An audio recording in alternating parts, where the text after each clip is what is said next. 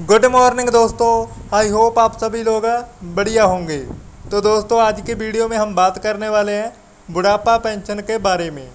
तो दोस्तों, जैसा कि हम सभी लोग जानते हैं, जो हमें अप्रैल की पेंशन मिली थी, वो हमें दोस्तों चौदह मई को मिल चुकी थी।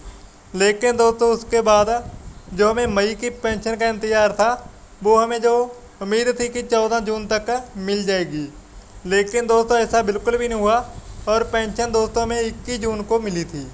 लेकिन दोस्तों, अभी जो जून की पेंशन में जुलाई में मिलने वाली है तो दोस्तों, उसकी जो उम्मीदें लगाई जा रही हैं कि जो चौदह जुलाई से लेकर अठारह जुलाई के बीच में जो बुढ़ापा पेंशन खातों में डाल दी जाएगी।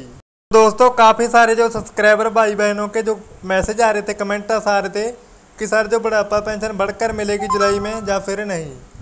तो दोस्तों, मैं आपको बता दूँ कि अभी जो बुढ़ापा पेंशन अगस्त सितंबर तक बढ़ने की कोई उम्मीद नहीं है। लेकिन दोस्तों, जैसे ही चुनाव नज़दीक आएँगे तो दोस्तों, हो सकता है कि बुढ़ापा पेंशन में बढ़ोतरी हो जाए। लेकिन दोस्तों, फ़िलहाल ऐसी कोई भी अपडेट नहीं है, जिससे हम आपको बता सकें कि जो बुढ़ापा पेंशन इस बार बढ़कर मिलेगी। तो दोस्तों, बुढ़ापा पेंशन बढ़कर मिलने के अभी कोई भी चांस जो हमें दिखाई नहीं दे रहे हैं। लेकिन दोस्तों, अभी जो जैसे पच्चीस सौ रुपये पहले मिल रहे हैं, वैसे ही जो पच्चीस सौ रुपये अभी मिलते रहेंगे। तो दोस्तों, इस वीडियो में सिर्फ़ इतना ही।